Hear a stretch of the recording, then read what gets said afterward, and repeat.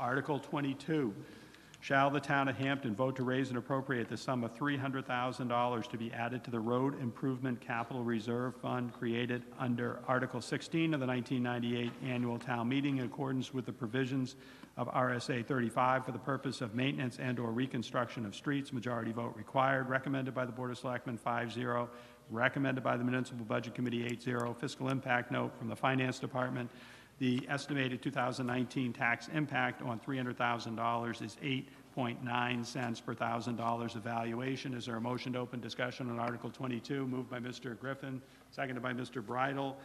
Is there anyone who wishes to be heard on Article 22? Ms. Hale? Uh, This, again, is another article that has uh, been on the warrant for uh, multiple years now. This Road Improvement Capital Reserve Fund has become a means for us to save up money throughout the years to do the larger projects. Uh, Case in point is the drainage improvements, the pavement surfaces, the curbing the sidewalks all along Lafayette Road um, have- were funded last year uh, by this capital reserve fund.